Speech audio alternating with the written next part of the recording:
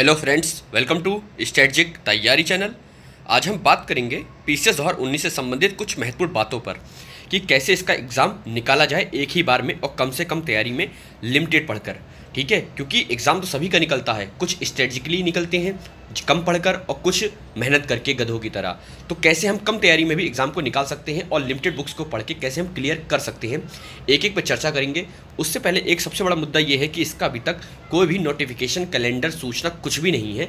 केवल मीडिया और न्यूज़ में चल रहा है कि इसका अब आने वाला है या तब आने वाला है। इस पर विश्वास नहीं करना चाहिए और किया भी नहीं जाना चाहिए। ठीक है? दोनों ही चीज़ें हैं।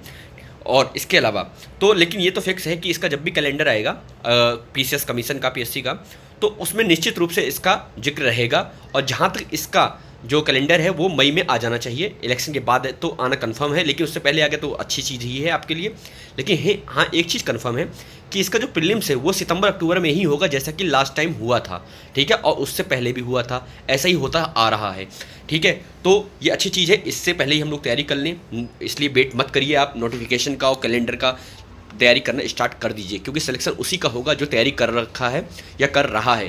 क्योंकि कुछ लोग ऐसे होंगे, क्योंकि मान लो सीटें हज़ार आई। तो हज़ार लोग तो ऐसे मिल जाएँगे ना पूरी यूपी में, जिनके जीवन और मरण का प्रश्न होगा इस सिलेक्शन लेना।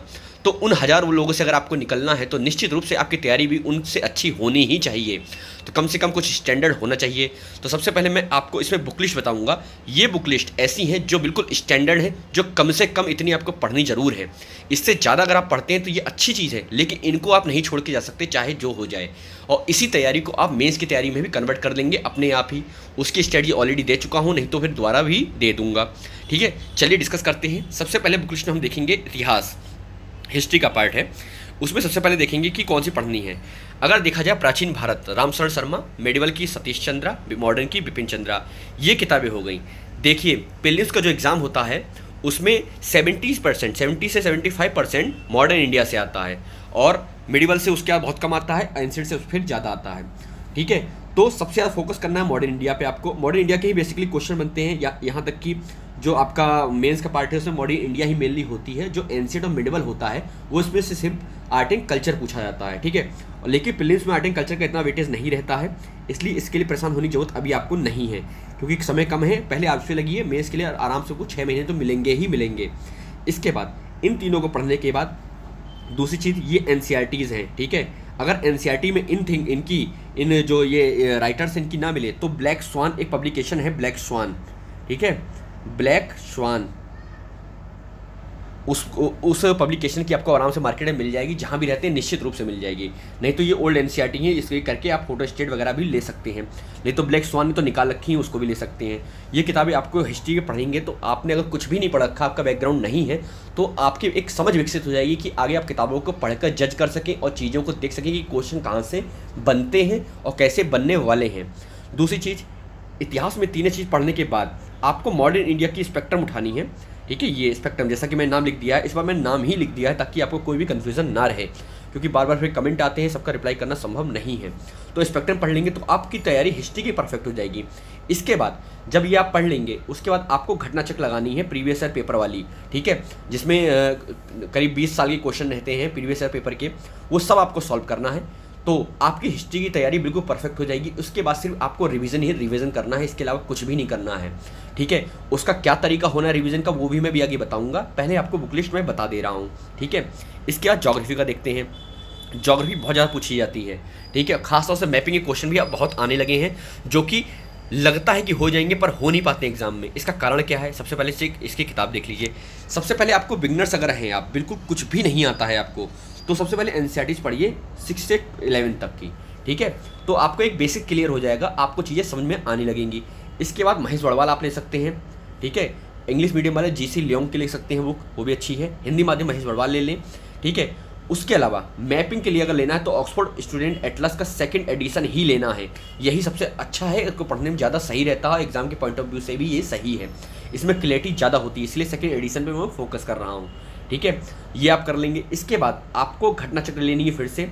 वही प्रीवियस है पेपर लगा लेना है रिविज़न हो जाएगा। इस तरह आपकी जोग्राफी अच्छे से तैयार हो जाएगी। इसके बाद देखते हैं पॉलिटी का। क्योंकि पॉलिटी, अब मैं बता दूँगा किसका क्वेश्चन कितने ज़्यादा आते हैं, किसका वेटेज कितना ज़्यादा है, ये भी मैं अभी आपको बता दूँगा। सबसे पहले बुक लिस्ट आप देख लीजिए। पॉलिटी का जो है लक्ष्मीकांत। लक्ष्मीकांत पढ़ लीजिए, ये तो इंग्लिश हो चाहे हिंदी माध्यम, दोनों के लिए परफेक्ट बुक है, ठीक है? इन्वायरमेंट का ऐसा करिए, अगर इंग्लिश मीडियम वाले तो उनके पास तो बहुत से सोर्सेज हैं, हिंदी माध्यम वालों के पास कम होते हैं। जैसे कि शंकर आई जो है इंग्लिश मीडियम को परफेक्ट है, वो पढ़ सकते हैं इंग्लिश मीडियम वाले। हिंदी माध्यम वाले दृष्टि आई की इन्वायरमेंट की बुक निकाली है स्पेशली दृष्टि आई वालों ने, वो आप पढ़ सकते हो। नहीं तो इग्नू के नोट्स भी ले सकते हो, आप वो भी इन्वायरमेंट के अच्छे हैं। ठीक है? तो ये इन्वायरमेंट हो गया। साइंस की लूसेंट ले लो और इसके बाद ये तीनों का घटना चक्र लेके प्रीवियस ईयर पेपर से लगा के आप तैयारी करेंगे तो आपकी ये तैयारी अच्छी से हो जाएगी। ठीक है? तो सबसे ज़्यादा वेटेज क्या होता है, ये भी बताता हूँ आपको। इसके बाद इकॉनमी इकॉनमी की रमेश सिंह ले सकते हैं आप, या फिर जो आपको अच्छी लाल करके बुक आती है एस लाल करके कोई बुक आती है, वो भी अच्छी बुक है। तो कई सारी ले सकते हैं आप, और इसके अलावा ये तो स्टैंडर्ड बुक होगी जो आपको पढ़नी ही पढ़नी है। यूपी स्पेशल के लिए एक काम ये करिएगा, घटना चक्र ले लीजिएगा, या यूथ कॉम्पिटिकेशन कॉम्पिटिशन या फिर जो कोई भी आपको अच्छी लगे, क्योंकि जो पढ़ने में आपको कंफर्ट लगे, वो ले लीजिए, सही रहेगा, ठीक है?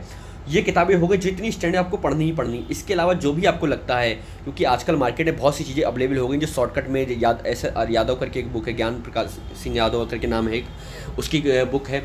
या फिर महेश बड़वाल ने बहुत सारी एन बेसिस पे निकाल रखी है, वो सब पढ़िएगा, लेकिन इतना पढ़ने के बाद, ठीक है, अन्यथा आपको समझ ही नहीं होगी, सिर्फ़ आपको चीज़ें रटी होंगी, और जब चीज़ें रटती हैं तो एग्ज़ाम नहीं निकलते।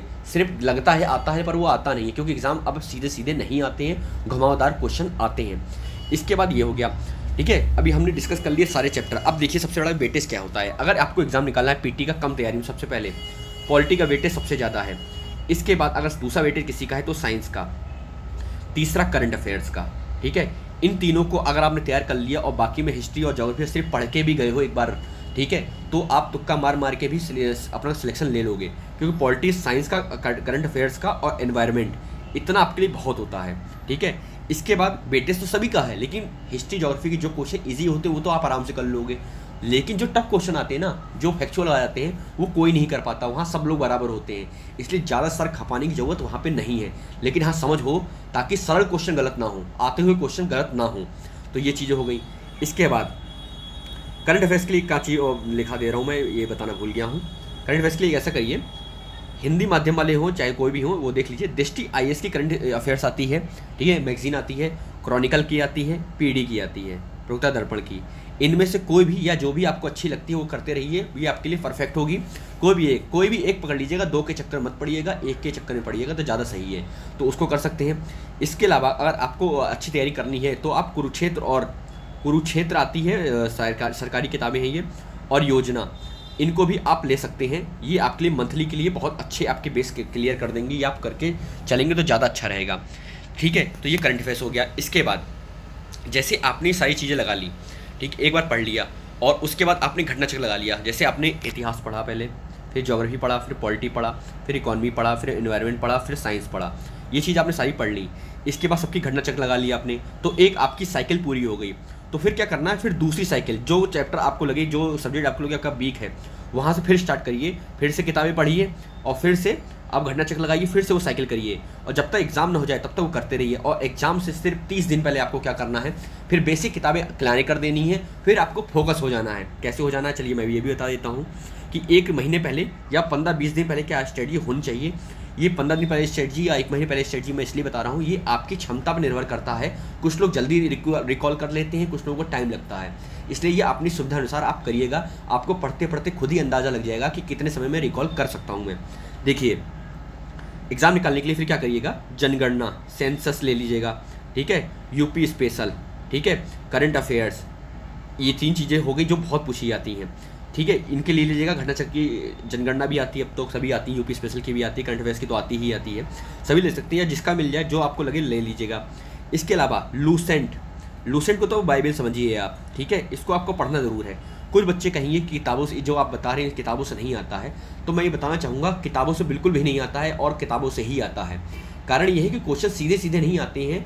अब दो क्वेश्चन के बीच का जो गैपिंग होती है, वहाँ से क्वेश्चन उठ के आते हैं बना बना के। तो अगर आपकी समझ क्लियर है तो आप उस क्वेश्चन को कर ले जाओगे। लेकिन हाँ कहीं पेपर फैक्चुअल आ गया, जैसा कि अठारह वाला प्री था फैक्चुअल आ गया तो आपको लूसेंट से अच्छी बुक फिर कोई अच्छा आपको आउटपुट नहीं देगा। इसलिए लूसेंट तो बाइबल के लिए रखिए, खासतौर से जोग्राफी लूसेंट बहुत अच्छी दी है हिस्ट्री भी अच्छी दी है फैक्चुअल वाली। ठीक है? बाकी चीज़ें इतनी अच्छी नहीं दी है। आप लूसेंट से मेनली हिस्ट्री जोग्राफी और साइंस पढ़िए उसके बाद इकोनॉमी पढ़िए ये चार चीज़ें पढ़िए उसके अलावा पॉलिटी और वगैरह चीज़ें बच जाती हैं उतना इंपॉर्टेंट इसमें नहीं अच्छा नहीं दिया हुआ है। लेकिन पढ़ भी सकते हैं, अच्छी चीज़ रहेगी आपके लिए। तो ये चीज़ हो गई, और आपको बार बार अपनी साइकिल को रोटेट करते रहना है, ठीक है? तो ये चीज़ हो गई। निश्चित रूप से आपका सिलेक्शन आपका होगा। मैंने इसी तरह ढाई महीने तैयारी की थी। मेरा सोलह का भी प्री निकला, सत्रह का भी निकला, अठारह का भी निकला, लगातार। तो ये तैयारी के जो ये दिन हैं आपके धीरे धीरे खुद ब खुद कम होते जाएँगे। आपको पता भी नहीं चलेगा, आपकी तैयारी बहुत अच्छी हो जाएगी और इसी तैयारी को आप इन्हेंस कर लेंगे आप अपनी मेन्स की तैयारी में। अगर आपने इतना अच्छे से पढ़ रखा है, इसके अलावा एक चीज़ और बताऊँ, कुछ लोग परीक्षा वाड़ी के भी बहुत बड़े फ़ैन होते हैं तो वो लोग परीक्षा वाड़ी भी ले सकते हैं। लेकिन इतना पढ़ने के बाद ठीक है? पहले अगर लेंगे तो आपके कॉन्सेप्ट क्लियर होंगे, ऐसा आपको लगेगा। लेकिन ऐसा होता नहीं है, क्योंकि उसमें फैक्चुअल चीज़ें इतनी ज़्यादा रहती हैं कि दिमाग हमारा क्या होता है, वो फैक्चुअल की तरफ़ ज़्यादा भागता है। जैसे एक पेज में आप पढ़ रहे हैं, उसमें आप पूरा पढ़ते नहीं पढ़ते, जहाँ फैक्चुअल लगा, वहाँ तुरंत आप हाईलाइट कर लेते हो। ये हमारी टेंडेंसी है, क्योंकि हम यूपी बोर्ड के छात्र हैं ना। हमें तो वो फैक्चुअल चीज़ बहुत अच्छी लगती है, इस चीज़ से बचना है। इसलिए पहले स्टैंडर्ड उसके बाद परीक्षा वाली जिस भी सब्जेक्ट की पढ़नी है, वो सब आप पढ़ सकते हैं। पढ़ने की कोई मनाही नहीं है, जितना आप अपना आकार बढ़ाएँगे, पढ़ाई का उतना अच्छा रहेगा। उसके बाद लास्ट में एक महीने पहले जितना जितना सिंक होते जाएँगे, जितना चीज़ों को कम करते जाएँगे या नोट्स बनाते जाएँगे, उतना आपके लिए अच्छा रहेगा। ठीक है? अन्य कोई बात हो तो नीचे कमेंट करके पूछिएगा। और रही बात एग्ज़ाम की तो सितंबर, अक्टूबर फिर से एग्ज़ाम होने की पूरी पूरी पूरी संभावना है। हाँ इसका अभी नोटिफिकेशन नहीं आया, लेकिन कैलेंडर जब भी आएगा, उसमें हंड्रेड परसेंट इसका होगा। अन्य कोई बात हो तो नीचे कमेंट करिएगा, हम लोग डिस्कस करेंगे और मैं पूरी कोशिश करूँगा आपके क्वेश्चन के रिप्लाई करने की। Thank you very much for watching this video